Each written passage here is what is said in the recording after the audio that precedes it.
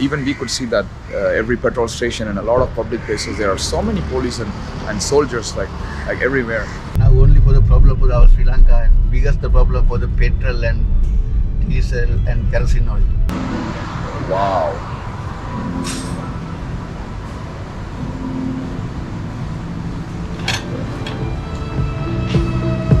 Best curry crab.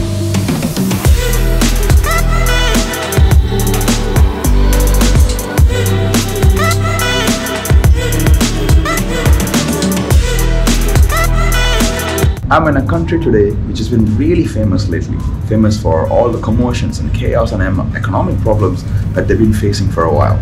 Yes, I am in Sri Lanka. I'm gonna spend one whole day in Sri Lanka today. So I'm gonna walk in the streets of Colombo. I'm gonna show you what's the real situation there. Right now I'm in a resort called Jetwing Sea and it's a it's a really nice resort. So far everything has been really nice here. It's uh, it's located 20 minutes away from the airport. So right now we are sitting at our hotel reception waiting for a taxi.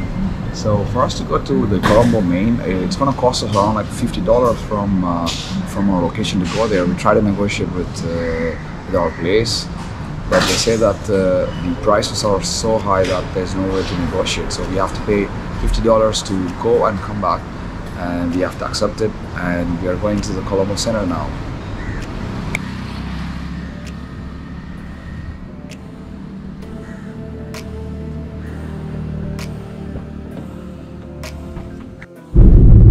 Hey guys, so we finally got our taxi and this is Mr. Ajit and he's the one who's gonna be driving around us in Colombo today. Now So- everything is very good, okay. very quiet, no problem, no picketing and nothing, and much better. Now only for the problem for our Sri Lanka and biggest the problem for the petrol and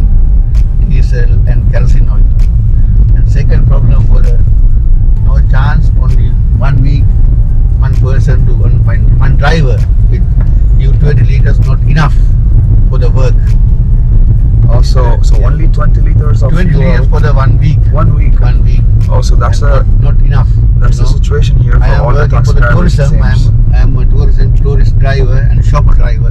And but because I want some my uh, people I speak in go to go some anywhere, but I can't do it because on the way I can't feel the petrol. And this is the chance. And on the way to feel the petrol now is I am we are do much better, much much better. But now only little bit okay for the gas problem, but electric problem also 50% okay, but another problem is the very expensive for the food and everything is very, very, very, very expensive. But not salary come up, only price coming up because this is the uh-huh. problem, you know. This is. We will see.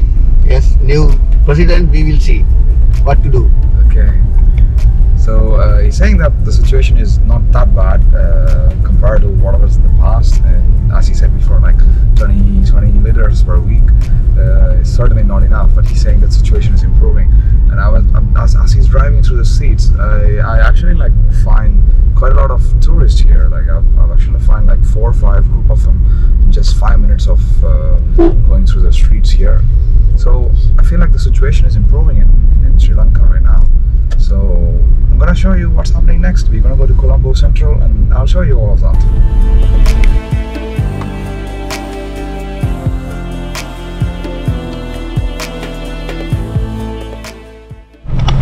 Okay, let's go, let's go. Sorry. But this is uh, this is a small queue. Yeah, it's small queue, like, like a mini mini queue. Oh my god. Sometime to the we are last last uh, two weeks before we are waiting for nearly one and a half kilometer, two kilometers for the. Oh my Better. god. Some people are waiting for the cooking gas and uh, one week sitting, and more than more than 30, 32 people is dead for the queue. Dead. Yes, blood pressure coming, heart attack coming. You know, a lot of people are say this is like this. So we are at our first stop for today. We are going to eat in Sri Lanka's famous seafood restaurant called Ministry of Crab. I've been to this place like before COVID. It used to be packed with so much tourists there, and they have really nice lobster and crab curry, like Sri Lankan flavors. I loved it. So that's where we're going right now. And I'm gonna show you how this restaurant in right now in 2022. So let's go and check out. Hello. Um, table for two, please. Table for two? Yes. Would you like outside or inside? Uh, which is which one is Inside is much better sir, because the warm outside. Amazing, Yeah. thanks. Yeah. So we got our table here. The first impression on the restaurant, I've been here a couple of years back. This restaurant was packed with tourists everywhere. I had to wait for 15 minutes for me to get a table. And today the whole restaurant is kinda empty. There's not much people here. I even called them this morning for a reservation. They said like it's not a problem, just walk in anytime. So I didn't understand that moment. Like now I really do because um, the restaurant is just like maybe like two to three tables are full and rest of the tables are kind of empty right now.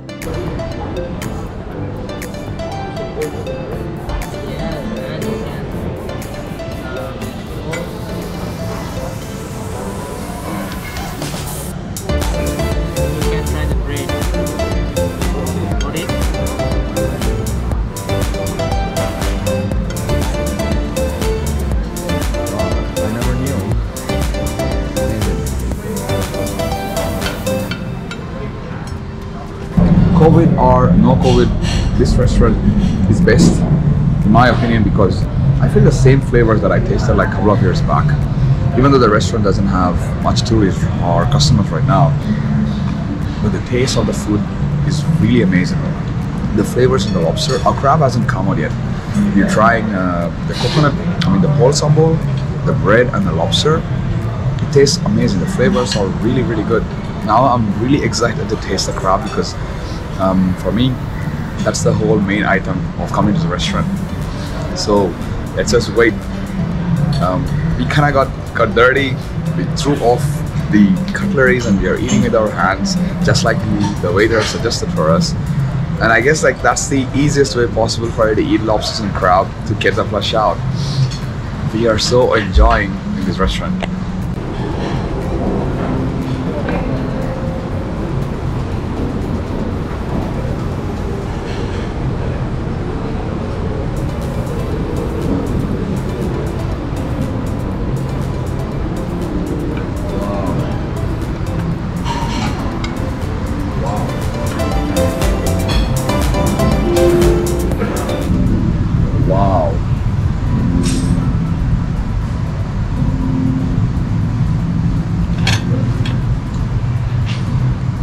Best curry crab.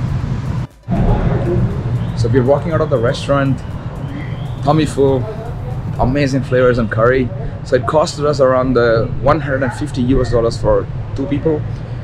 I find it like like value for money. The, the flavors and the taste that you get was really amazing. We totally loved the whole experience. So probably if you're coming past by Colombo, especially this restaurant to visit, I'm sure you won't regret it. It's it's really nice here.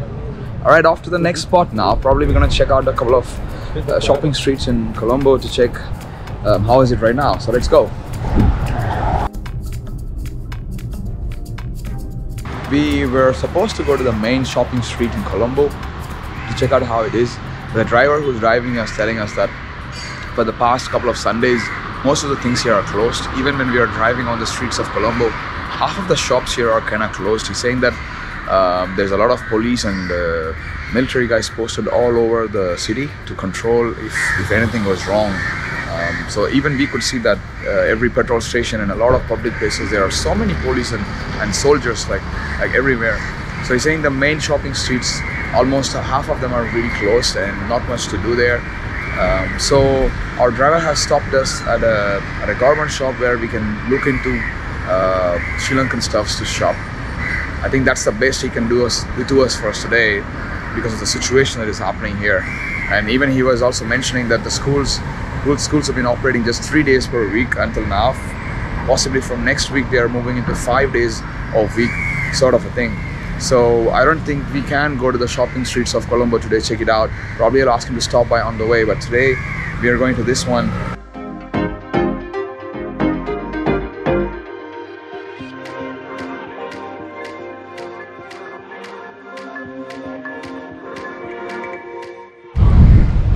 Hey guys, we are back to our resort now. impressions on Sri Lanka for one day.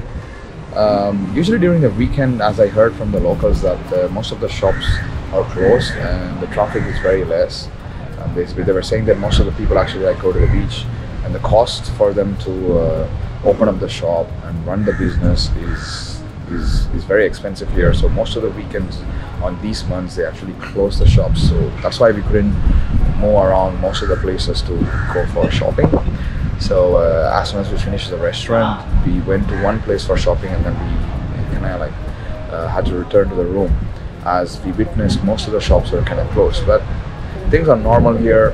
When you move around Sri Lanka, you might see a lot of police and military people uh, in most of the public places everywhere. And apart from that, the resorts are pretty cool, chilled up, and everything is is normal here. So uh, I even see a couple of tourists wandering around, like as if like tourism is coming back to Sri Lanka again. So that's all my final notes on on Sri Lanka. I finished my video here. This is Jodin signing off. Please subscribe my channel for more interesting content. See you guys next time.